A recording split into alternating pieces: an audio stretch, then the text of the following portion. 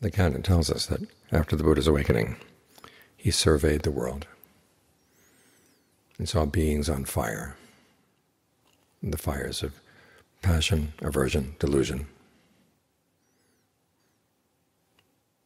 That's one of the reasons why he decided to teach, because he'd been able to put out his fires. That's why he was able to see them so clearly. They say that after gaining awakening, he hesitated for a while, thinking about how subtle the Dharma was, how hard it was for him to find it, how hard it would be for other people to accept it.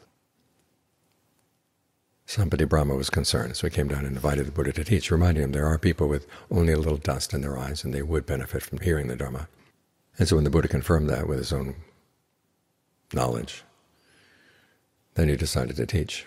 So it was out of pure compassion. He didn't have to teach. The commentaries get all upset about this incident, saying he really was determined to teach. He just was waiting for the proper invitation. But I think the story illustrates the principle that once you're fully awakened, you have no debts to anyone. You're not obligated to do anything. What you give to the world is a pure gift.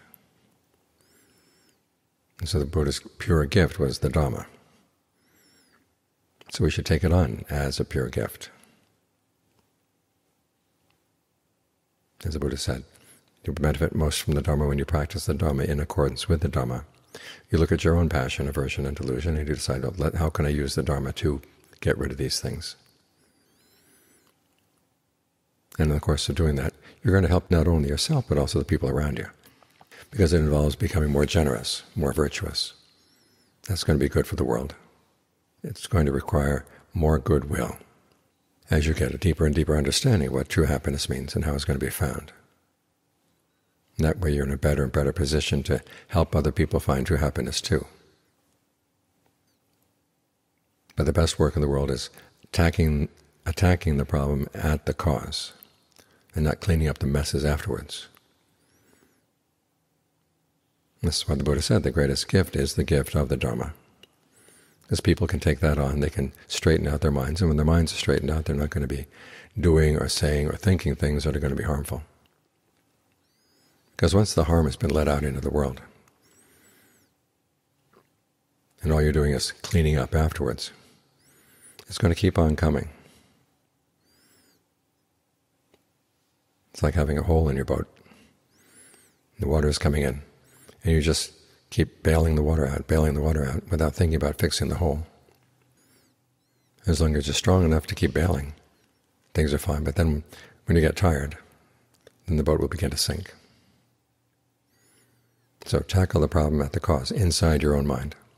As Ajaan Suwat used to say, each of us in the world has one person.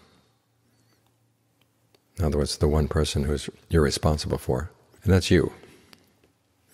You can influence other people as you may, may try to, and they sometimes will pick up your influence and sometimes not. But it's best if you take care of your own work inside. That way you speak from knowledge and your behavior is an example. A lot of times people don't listen to words, they look at the actions. So try to make sure your actions really are compassionate. And that comes from training your mind to be compassionate, training your mind to try to clean out its passion, aversion, and delusion. And it's in this way that all the confusion in the world gets straightened out.